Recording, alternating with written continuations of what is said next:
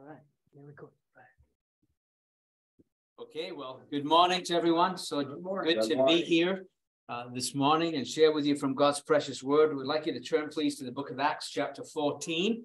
And we're at the halfway point, the 28 chapters in the book of Acts. And now we've reached chapter 14. I'm going to look at the first 20 verses, but for the sake of reading, I want to read from verse 8 down to verse 20, although we will certainly consider the entire chapter section from verse 1 through 20. So, verse 8, Acts 14, it says, And there sat a certain man at Lystra, impotent in his feet, being a cripple from his mother's womb, who never had walked. The same heard Paul speak, who steadfastly beholding him and perceiving that he had faith to be healed, said with a loud voice, Stand upright on thy feet. And he leaped and walked. And when the people saw what Paul had done, they lifted up their voices, saying in the speech of Lycaonia, The gods are come down to us in the likeness of men.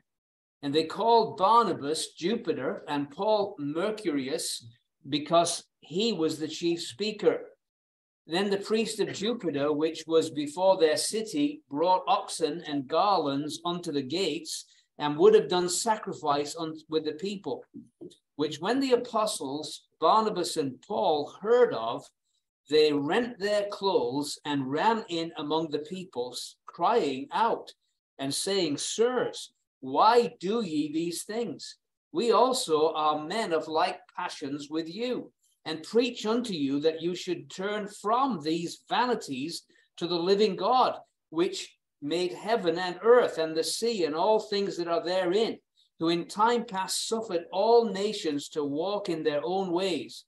Nevertheless, he left not himself without witness, in that he did good and gave us rain from heaven and fruitful seasons filling our hearts with food and gladness. And with these sayings, scarce restrained they the people, that they had not done sacrifice unto them. And they came thither certain Jews from Antioch and Iconium, who persuaded the people, and having stoned Paul, drew him out of the city, supposing he had been dead. Howbeit, as the disciples stood around about him, he rose up and came into the city, and the next day he departed with Barnabas to Derbe. And again, God will bless that reading of his precious word. Well, the theme of this chapter, uh, particularly this first section, is opposition to God's work. As we, we continue our journey through the book of Acts, we, we're on this first missionary journey at this present time, and the missionary team uh, had just been expelled from the region of Pisidian Antioch in the previous chapter, in verses 50 and 51 of the previous chapter. But but they nevertheless they they still were rejoicing.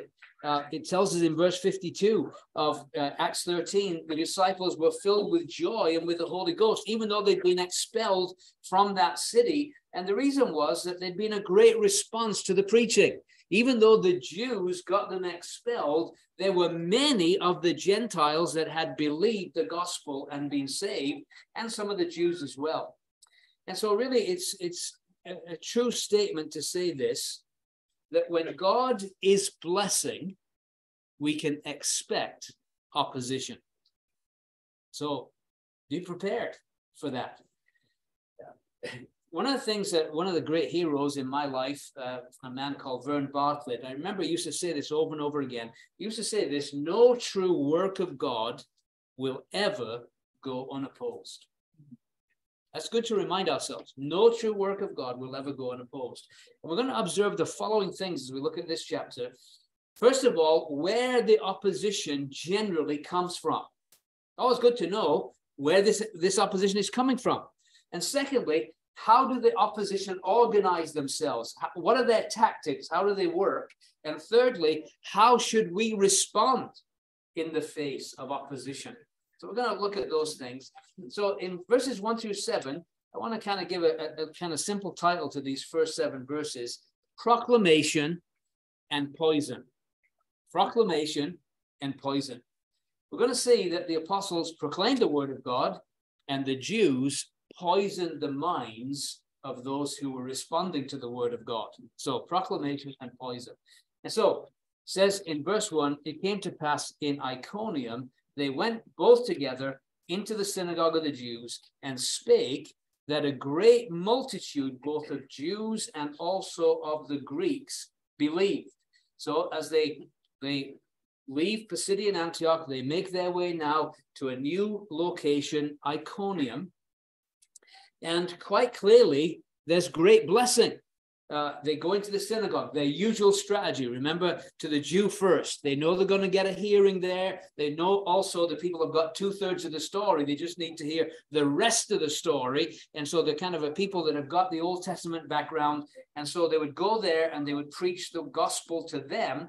And of course, uh, the result was wonderful. Great multitude, both of the Jews and also of the Greeks. Now, again, these are the proselyte Jews. Uh, they're, they're Gentiles, but they're sick of paganism. They've started coming to the synagogue. Some of them have even become Jews. They've, they've been baptized and been brought into Judaism. Uh, some of them are just God-fearers. They're just there because they, they fear God and they want to hear from the word of God. But nevertheless, they believe the, the message concerning the Lord Jesus. Uh, they believe the gospel that was being preached and they responded to it. And so everything seems wonderful, doesn't it? Great multitude responding to the word of God. But I want you to notice the next word in chapter 2 just starts this way but. Everything's going marvelous, but. and he, it's there's always a but, isn't there? Somewhere there's always a but. Everything is going wonderful, but. And it says this the unbelieving Jews stirred up the Gentiles and made their minds evil affected against the brethren. So, what is, what is the opposition doing here? The opposition is somehow poisoning the minds of the people against the, the missionaries and using the usual methodology of slander, a smear campaign, whatever. You remember the tongue uh, the tongue is an interesting instrument, isn't it? Uh, one of the things, this tongue, tongue can be a, a great blessing to us uh, as we, we hear good news, right? I mean, the tongue was a blessing when the gospel came into the, and it was using the tongue that the gospel was preached and the glad tidings were brought. And so the tongue is a good thing. But the tongue can also be a poisonous thing. I want you just to look at a couple of scriptures that would say this. Romans chapter 3, verse 13 it says their throat is an open sepulchre. With their tongues, they have used deceit. The poison of asps is under their lips. And so they're, they're, it's like a snake bite that comes out of their mouth. It's deadly. Uh, it's very poisonous. Uh, look at James chapter 3 and verse 8. And again, about the tongue, how it can be a source of great blessing and great encouragement, but it also can be quite poisonous. In James chapter 3, verse 8, James says this He says, But the tongue can no man tame, it is an unruly evil full of deadly poison. And so, what's going on here is that the minds of those that are listening to the word of God are being poisoned, evil affected by the unbelieving Jews. And by the way, there's a warning here to Christians because uh, we, we need to be careful that we don't use our tongues to poison people's minds about one another, what we call slander. I just want to read one verse from Titus. And uh, as the uh, the apostle Paul is talking to the older sisters, and not that they're the only ones that could be capable of this, uh, but he says in verse 3 the aged women likewise, that they be in behavior as becometh holiness, not false accusers, nor given to much wine, teachers of good things. So what he says is one of the one of the dangers, one of the possible propensities of older sisters is that they can be false accusers. That word false accusers in the Greek language is this diabolos. You ever heard that word before? What does it mean? Devils. It says, older sisters don't do the devil's work for him. Right? He loves to slander. He loves, and especially he loves to speak badly of the saints. He's an accuser of the brethren, right? He loves to he loves to speak bad of God's people. And so the, the word here is listen, uh, older sister, but again, it's not just they, they don't have the corner of the market on this. Uh, it, any of us can be guilty of this. Be careful that you do not do the devil's work for him. He's doing a pretty good job of slandering God's people as it is without your help or my help. In fact, instead, let's use our tongues to speak good where we can speak good. let's speak good. And if we can't speak good, maybe don't speak. Just be quiet. But be careful about this. So that's what they're doing. They're poisoning the minds. Minds evilly affected against the brethren. Look at verse 3. It says, Long time therefore abode they, speaking boldly in the Lord, which gave testimony unto uh, the word of his grace, and granted signs and wonders to be done by their hands. So, how did the apostles respond to this? They, they've been spoken badly about. Uh, people's minds have been affected and poisoned, but they didn't quit. They didn't run away. They stayed. They, they stayed and kept on preaching despite the opposition. They didn't go home and have a pity party. They just kept on keeping on preaching the word of God. That's a good lesson for all of us. What do we do when people just keep on, keep on doing the right thing, keep on saying the right thing, keep on being the right person? You just keep on being God's man and leave your reputation and your testimony to him. One of the things I found is one of the, the, the most sensible things when you're being attacked is not to defend yourself. Let the Lord be your defender. Let him do it. Right? Don't don't don't you whatever you say to people like this, they're going to twist it anyway. They're, they're not going to hear what you're saying anyway. Uh, and particularly if whatever you do, don't put anything in writing. You put uh, something in writing, every word will be analyzed and twisted. Just leave it with the Lord. You can spend all your time trying to, uh, trying to, you know, kind of uh, deal with your. Rep- Let the Lord look after your reputation. He's more than capable of doing that. And so they did. They, they just kept on preaching despite it, and God authenticated the ministry of these men by granting them signs and wonders to be done by their hands. Now, I want to just talk about signs and wonders just for a minute. Sign simply means a miracle that conveys a message. Okay, because a sign points to something. So the miracles conveyed a message. The message was these men are authentic men, and their message is an authentic message, right? Uh, sign convey, and then wonders. It just refers to the, the the usual response to the sign is that it leaves people in wonder because it's it's so different to what we're used to. Uh, it, it's it's a, a, a that causes a sense of awe and wonder.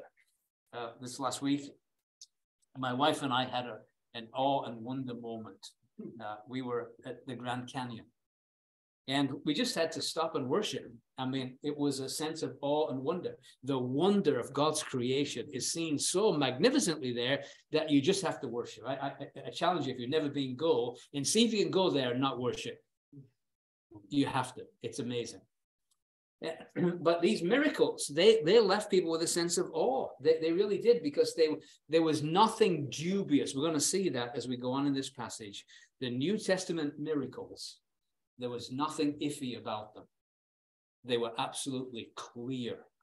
they were so real. So, so the point is that God actually vindicated his servants here. And, and it's amazing too, isn't it? That how can they keep going in the face of such opposition? Well, the boldness and the perseverance of the servants of God here is not natural, it's supernatural. Mm. Just as our children's illustration, God was helping them despite tremendous opposition to keep on proclaiming the truth. And God always promises that if we're about his business, he will provide the help needed, right? He, he will uh, supply what we need. So notice it says, but the multitude of the city was divided, part held with the Jews and part with the apostles. And we could say this that truth brought division. Truth brought division. I want to just show you this because it's something we should expect that truth brings division. Let me show you. Look at the Gospel of John. John chapter 7 and verse 43. Speaking of the Lord Jesus, it says, So there was a division among the people because of him. Well, who is he? He's the truth, isn't he? the one who is the way, the truth, and the life. And it says there was a division because of him. Actually, he's ultimately going to divide humanity into the saved and the unsaved. Those that go to heaven, those that go to hell. What's going to divide the human race? It's what they do with this man, Jesus Christ. Uh, he's the divider. And, and so it says there was great division because of this man. Look at John 9, verse 16. John chapter 9, verse 16. It says, Therefore said some of the Pharisees, This man is not of God because he keepeth not the Sabbath day. Others said, How can a man that is a sinner do such miracles? And there was a division among them. John chapter 10, verse 19. It says, There was a division, therefore, again among the Jews for these sayings. So, what we can say is that truth does divide. That's why our nation is so divided right now, because there are some that are just telling lie after lie after lie, and there's some that are telling the truth. And it always causes division. The United States of America is not so united right now. And why is that? Because truth always divides, it causes division. And that's where we are today. There's division. And it's uh, it's it's so true to see this. Now notice as well. Just an aside here, but it says part sided with the apostles. It's kind of interesting, isn't it? Because who is he talking about? He says apostles plural, but it's Paul and Barnabas. It's interesting, isn't it? First time, by the way, that Paul is ever called an apostle. We call him that all the time. We talk about the apostle Paul, but this is the first time it happens. Up to this point, it's always when the term apostles is being used, it's always been used just of the 12. But now it's used of Paul, it's also used of Barnabas. That's interesting, isn't it? So we have to ask ourselves what's going on here. We know that there's the original 12 that were commissioned by the Lord Jesus, that were uh, saw, accompanied with him uh, from the very beginning uh, and even were witnesses of his death, burial, and resurrection. And then there's the apostle Paul. We know about him. He's the apostle to the Gentiles, right? And the word apostle means somebody sent with a mission or sent with a commission. But now there's a, maybe a secondary sense in which these men were sent, remember, from the church at Antioch. And they were sent with a mission. So maybe it's kind of a what we would call them today missionaries, wouldn't we? We'd use that term. Uh, but but again, they're sent with a with a with a commission. Uh, they're sent with a with a mission. And so certainly uh, it's in that secondary sense that it's used here of these individuals. And so notice now again in verse five, things began to deteriorate. It says, and when there was an assault made both of the Gentiles and also of the Jews with their rulers to use them despitefully and to stone them. And so this opposition gets stronger to the point where now there's a plan to actually stone these men to death. And they hear about it. The word gets out. They were aware of it, verse 6, and fled to Lystra and Derbe, cities of Lycaonia, unto the region that lieth round about. Now, we might ask the question well, were they cowards now. I mean, they stayed, but now they're leaving. well, it's kind of interesting that they're going to go back there when we get to verse 21. So obviously they're not scared because they go back to the very same place. Look at verse 21. When they had preached the gospel to that city and had taught many, they returned again to Lystra and to Iconium and Antioch. So they go back to the very same place. I was just uh, talking last night. I gave a little message on John Cennick, who wrote the first hymn we sang this morning, Brethren, Let Us Join to Bless. And uh, he was preaching in Dublin, Ireland, and saw a great number of people converted. And even the priests were listening avidly as this man preached the gospel in Dublin. And people up north heard about him in Ballymena, the capital of Presbyterianism in Northern Ireland. And so they called for him to come, but they hated his message. And he was chased out of town with a man with a horsewhip and, and, and they were very successful in getting him with a horsewhip. And so he left and he went away, but he came back two years later. This man's not a coward. Came back to the very same place and saw 20 churches established in mm. that area and 40 Moravian societies in the next five years. Amazing. God did a great work through. So these men are not cowards, but they just thought it was better to move on at this point. no point getting stoned. Uh, you know, it's not like we're scared, but there's no point getting stoned for the sake of it. Later on, he's going to get stoned in this very chapter. So, so they move on. and notice they just continued doing the same thing. Verse 7, it says, And there they preached the gospel. This is Lystra, Derbe, cities of Lycaonia. There they preached the gospel. Notice verse 8, it says, There sat a certain man at Lystra, impotent in his feet, being a cripple from his mother's womb who never had walked. So Luke gives us a threefold description of a man that they encounter. Basically, there's no strength in his feet. That's the idea of impotent, no power. He has no strength in his. He can't move his feet. Uh, we we were with a, a, family this last week, and uh, they had a boy who was uh, uh brain damaged uh, through a uh, a medical mistake. Uh, he went in for hernia surgery. They gave him way too much um, anesthesia, and he came out um, crippled. And so we had to help him get in and out of the vehicle and stuff like that. And, and he, he, he was impotent. He couldn't he couldn't move, and so we had to move him. So this man is like that. He has no strength in his feet. He was a cripple from childbirth, and he had never walked. And so he's piling on the description because he wants us to see this wonder that God is about to do, you see, because, but he's showing th- this is, humanly speaking, we would say this is a hopeless case. And yet, verse 9, it says, The same heard Paul speak, who steadfastly beholding him and perceiving that he had faith to be healed. So he's paying attention as Paul preaches, but Paul's paying attention as well. And he notices this guy and he notices how captivated he is. And he, and he comes to a conclusion this guy has faith to be healed. He believes it. Uh, he perceives he has faith. Now, how could Paul perceive that? Well, let me just say this.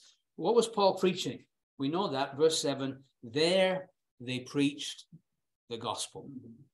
That's his message, a gospel message. And this man's believing it. No doubt in the course of telling the gospel, he's talking about the Lord Jesus. No doubt he talked about some of the healings and the miracles Jesus did. And as this man listens to it, it's like he, the light goes on. He sees it. He believes this. And Paul sees that he does, you know, because the Bible is very clear. Faith comes by hearing, and hearing by the word of God. And this man's hearing the word of God and he's believing it. And so what does Paul do? In verse 10, it says, He said with a loud voice, Stand upright on thy feet. And he leaped and walked. Now just think about this. This guy has never before in his life walked. You see what I'm saying about New Testament miracles? Nothing iffy about this right? Nothing dubious about this guy has never walked. And, and so even if you could heal him today, what would you do? He'd be in physiotherapy for a long time. He'd have to learn to walk. He's never walked. He'd have to learn. Not when the Lord does a miracle. He's leaping. the guy's hopping around like a bunny rabbit. I mean, the guy is just full of life and energy.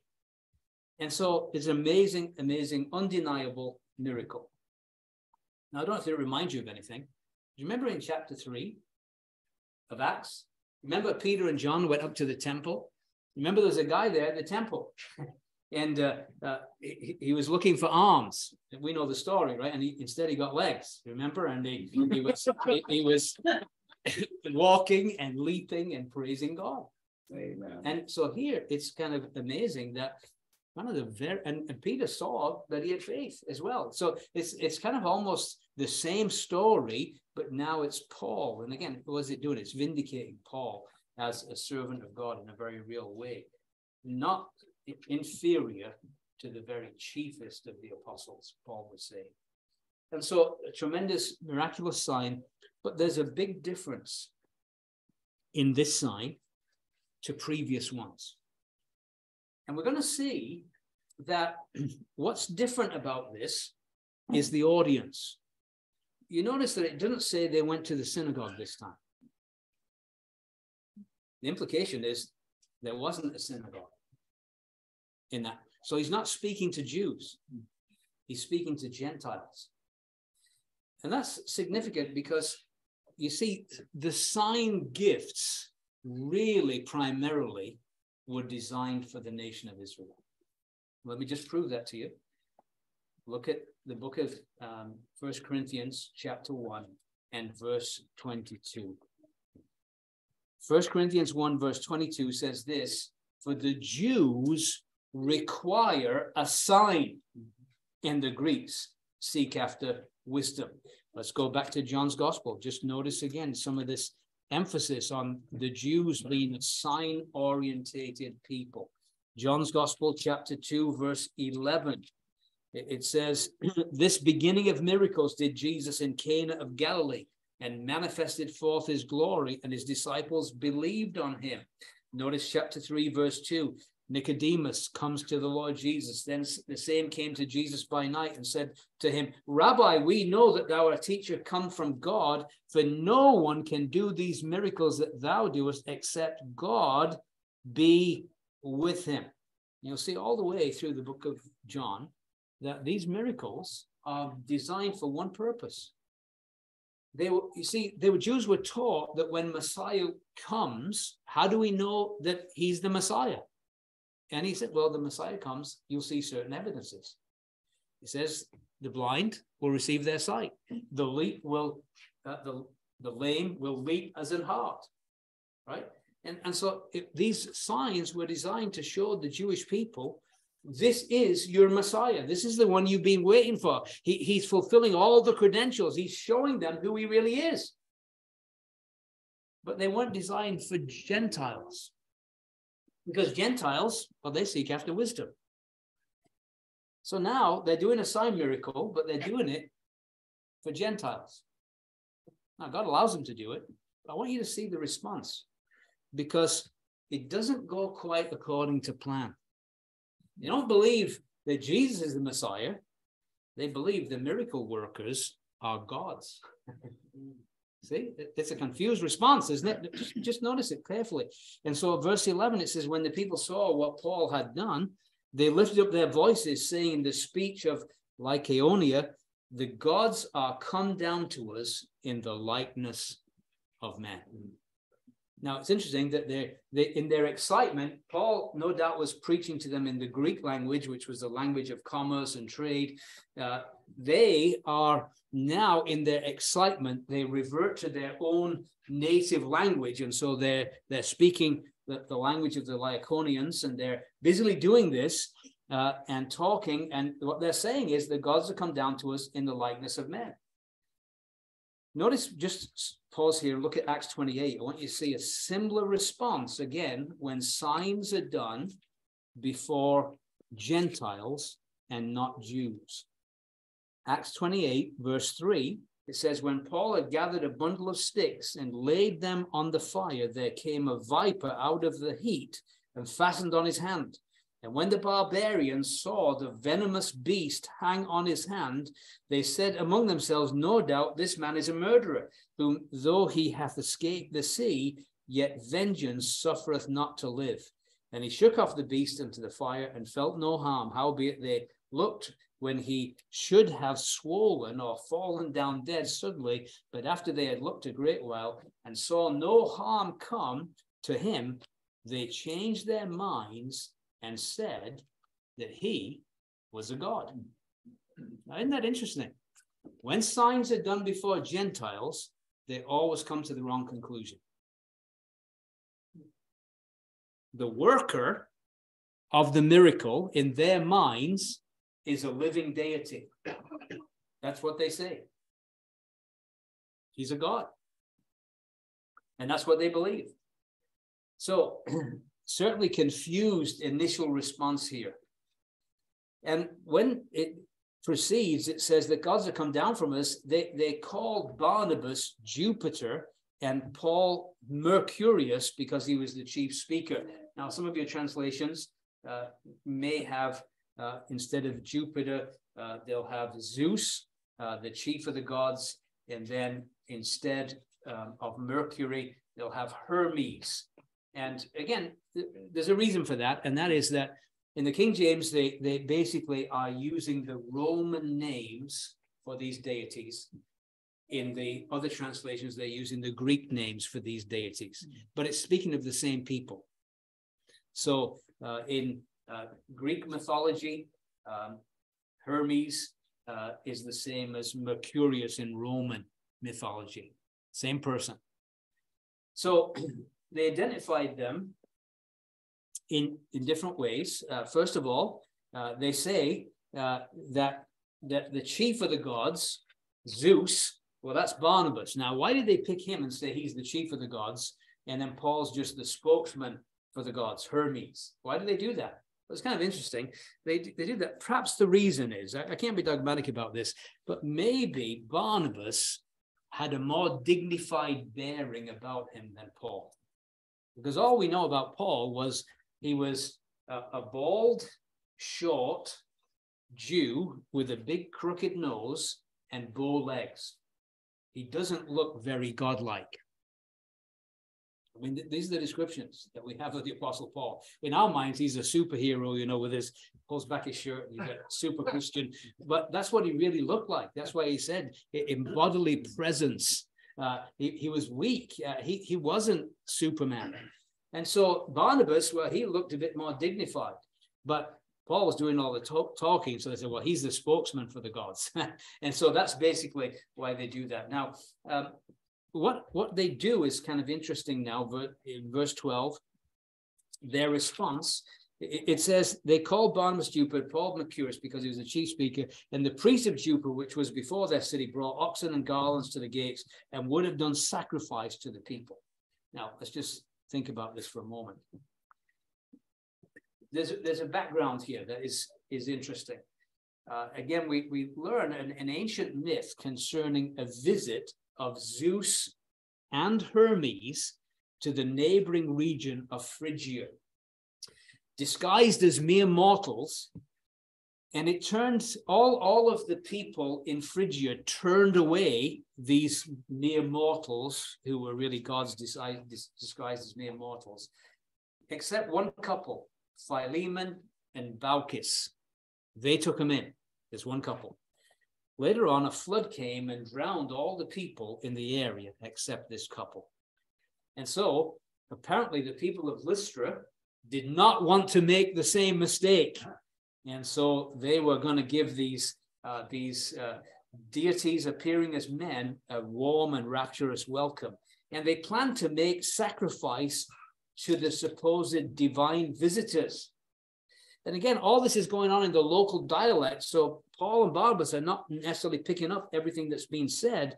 But when the penny drops and they realize exactly what's being planned here, it says in verse 14, which when the apostles Barnabas and Paul heard of, they rent their clothes and ran in among the people, crying out and saying, Sirs, why do you these things? So notice what they do. They, they run in amongst them and they tear their garments. Now, that, this is a very Jewish uh, demonstrative way of showing horror. Uh, remember when uh, in, in the Gospel of Matthew and chapter 26, uh, when the Lord Jesus uh, basically was before the Sanhedrin and the high priest, And we just notice something that goes on here. Matthew uh, 26, verse 61, and, and said, This fellow said, I am able to destroy the temple of God and to build it in three days. And the high priest arose and said to him, Answerest thou nothing? What is it which thou witness against these witness against thee? Jesus held his peace, and the high priest answered and said to him, I adjure thee by the living God. In other words, he puts him under oath that thou shalt tell us whether thou be the Christ, the Son of God. Jesus saith unto him, Thou hast said, Nevertheless, I say unto you, hereafter shall you see the Son of Man sitting on the right hand of power and coming in the clouds of heaven. Then the high priest rent his clothes, saying, He hath spoken blasphemy. What further need we have witnesses? Behold, now you have heard the blasphemy. What think ye? They answered and said, He is guilty of death. And so this tearing the garments. It was a shock and horror at what was going on. And so they, they were showing their disdain, their disgust that that they mere men were being made out to be gods. And they said, "This is uh, this is horrendous. We don't want this. Is we're just men." And I like this. We're men of the same nature as you are. Isn't that good to know? But please don't put the Lord's servants on a pedestal. They're all made of the same cookie dough. When you put the Lord's servants on a pedestal, you're setting yourself up for disappointment.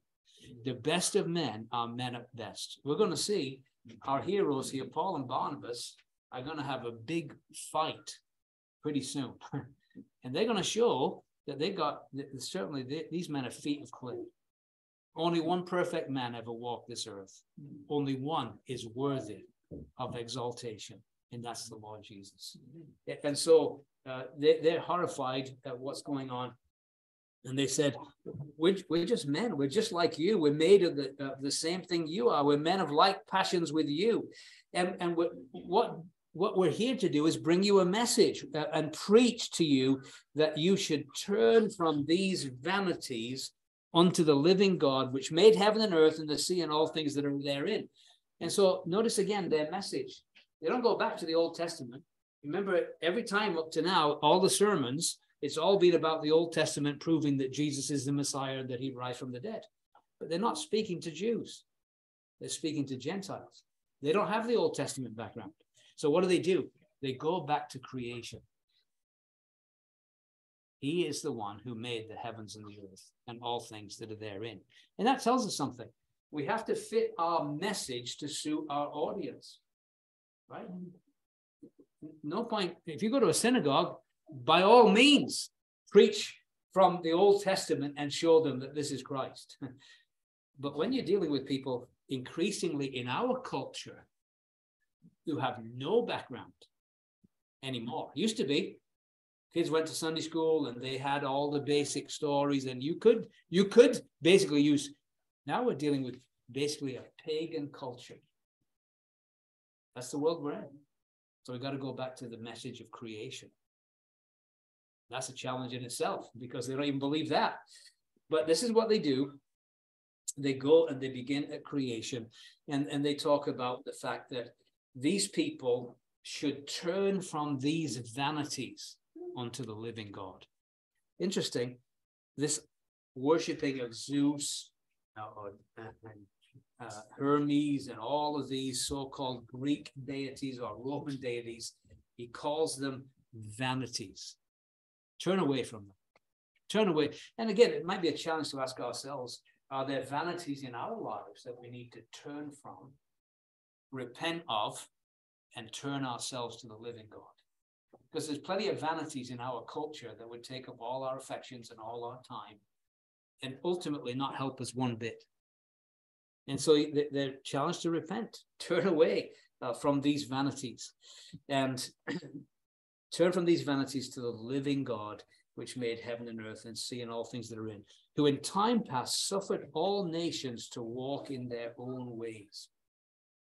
It's kind of an interesting statement, isn't it? What he's telling us is this that God in previous centuries has only really dealt with one nation, Israel other nations have been dealt with as they relate to Israel, but really, God called Abraham and he dealt with the descendants of Abraham. And really from Genesis 12 all the way through to the book of Acts, God has been dealing with one nation. But now something's changing because he says, uh, again, just the wording is interesting, who in times past suffered all nations to walk in their own ways. In other words, now God is dealing with the Gentiles as well. And that's a wonderful thing. It's, it's showing us too that there is such a thing as progressive revelation. That God is revealing himself progressively to the human race. In the past, he let all nations go their own way. But now he's coming to Lystra and he's speaking to the people there about the creator of the universe. So, by the way, it's a terrible thing, isn't it? When nations choose their own way rather than God's way. God allows it. He's not going to say to America, listen, you should go my way. If you want to go your own way, he's going to say, have at it. I'm going to let you go your own way. But you'll be better off if you follow my way. But men are stubborn and foolish and they want to go their own way. And we know what happens when nations choose their own way rather than God's way. When people ignore the word, the results are always tragic. And we're seeing it before our very eyes. And so, verse 17, it says, Nevertheless, he left not himself without a witness. So, even though he wasn't giving divine revelation in terms of scripture to the Gentiles, it wasn't that he left himself without revelation to them. There was the revelation of creation, right? The, the natural revelation he didn't leave himself without a witness in that he did good and gave us rain from heaven and fruitful seasons, filling our hearts with food and gladness. And so, you know, God was was good to the nations, even though they didn't have anything to do with him. He still gave his rain and gave them food and gave them gladness and joys and all of these things. And it's amazing isn't it, how God good is, good God is that these very people that would perhaps curse the name of God and ridicule him, he feeds them. He gives them the facility of speech. That's amazing, isn't it? Uh, he gives them the intellect. He gives them everything they have. God is good, period, to all mankind. There's no question about that. And he tells us that, that, that, um, uh, that even if a society rejects him and turns from him, God still does good. He allows rain to fall upon the just and the unjust. He allows food to be produced. He allows hearts to be filled with gladness. He allows people to have life and experience the joy of a sunrise, uh, to enjoy the beauties. Unbelievers were at the Grand Canyon. They were looking at, they weren't looking at same eyes that I was looking for it, but they were looking at it and they were seeing the magnificence of it all, but it didn't lead them to awe, worship, and wonder. But, but God allows them to see all this stuff. God's patience with the human race is beyond our comprehension. Mankind that doesn't want anything to do would rather worship a created thing like a snake or some other repulsive creature. they would worship that rather than God. And yet God's still good to them. Instead of rising up in his wrath and pouring out his vials upon the earth, he pours out blessings upon them. Now, there is a day coming when he's going to pour out vials upon the earth. Not right now. God has been good to these nations, filling them with gladness. And with these sayings, scarcely restrained they the people that they had not done sacrifice unto them. And then things take a, a negative twist. But before that, we just might say this just a simple thing from scripture the goodness of God leads thee to repentance part of the God's goodness is to draw men to repent, to believe on the gospel. And, and the same God that provided food and all these good things has also provided a savior. And that's why the apostles are in Lycaonia to tell the message that there's one who came down from heaven with the express purpose of saving mankind from their sin by dying as their substitute on the center cross and bearing the punishment that they deserved. He, God's goodness is great. The greatest display of the goodness of God is seen at the cross of Calvary. That's where it's seen. And so the apostles bring this message, but people can be very fickle because it says in verse 19, there came there the certain Jews from Antioch and Iconium who persuaded the people and have stoned Paul, having stoned Paul, drew him out of the city, supposing he had been dead. So Jews from Antioch and Iconium finally catch up with the apostle Paul. They're following, they're dogging his footsteps wherever he goes, they're following him. And again, they're poisoning the, the minds of the multitude to stone the very people who a few moments earlier they were ready to worship. And isn't that again the fickleness of the heart of man? And, and so they thought they'd succeeded. They, they dragged him out of the city, supposing he had been dead. But and Paul could say, once I was stoned. Second Corinthians 11 25. He bore in his body the marks of Jesus Christ, right? This left an indelible impression on this man's body. If you were stoned to death, uh, isn't it interesting that he was party to the stoning of Stephen, and now he himself is being stoned? And yet, amazingly, verse 20, howbeit as the disciples stood around about him. I wonder what they were doing. I think they might have been praying. they certainly were there to encourage him, weren't they?